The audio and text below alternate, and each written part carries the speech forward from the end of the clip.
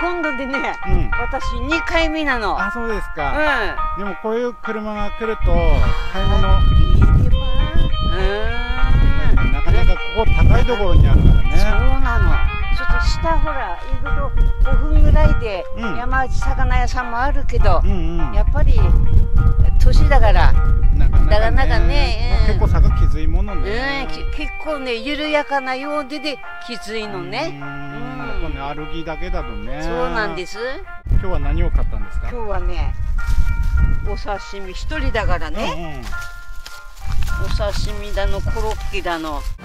結構ねいろんなの揃ってるからねねみんなにね重宝されてまですすよね。